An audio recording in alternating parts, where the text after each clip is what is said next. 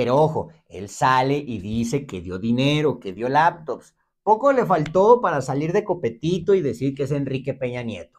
Poco, poco le faltó. Pero ojo, lo preocupante de aquí no es esto porque él ya se va. Él ya tuvo cuatro años y durante cuatro años estuvo haciendo su guardado. Lo preocupante es que quiere dejar un legado o al menos dejar un sucesor. ¿Y quién está detrás de él? ¿Quién está siguiendo sus pasos? Podemos hablar de Felipe Calderón, pero en chiquito. Bueno, los dos son chiquitos. De eso es lo de menos. Pues estamos hablando de pues, el presidente municipal de Guadalajara, Pablo Lemos. ¿Y por qué le decimos Calderón? Pues porque a este personaje se le ocurrió la grandísima idea de hacer una mini estela de luz, otro monumento a la corrupción, al desvío de recursos, a la falta de el uso del presupuesto público a favor de la población.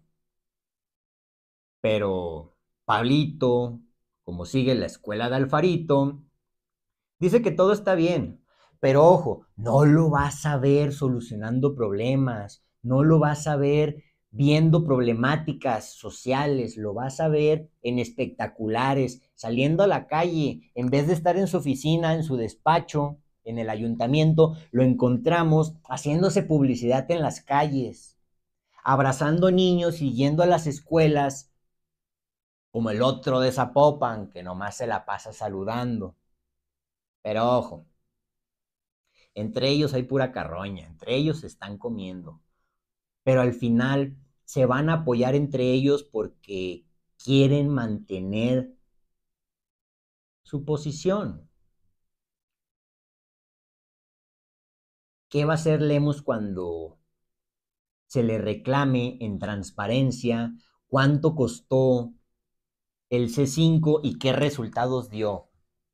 ¿Qué soluciones nos ha dado el gasto excesivo en obras faraónicas si no es más que pues, el empoderamiento de estos mismos personajes a través de la corrupción? Para Pablito es muy fácil salir a la calle, a, aplaudir, a decir y a demostrar, porque su agenda política, administrativa del ayuntamiento ya se le acabó. Él ya firmó contratos, ya se llenó los bolsillos y lo único que le queda es esperar el 2024. Si esto a ti no te basta, adelante, no pasa nada. ¿Qué es lo peor que puede pasar? ¿Que llegue otro pelón? Pero bueno, Alfarito, con el pretexto del empoderamiento de la mujer, se gasta más dinero en la difusión del evento que en el mismo proyecto que este pues, semanó, no sé cómo lo quieras llamar o decir. Pero ojo, hay que reconocer dos cosas. La primera, Alfaro ya se va. Lemus quiere continuar. Y si dejamos que este llegue, ¿qué va a ser de la ciudad?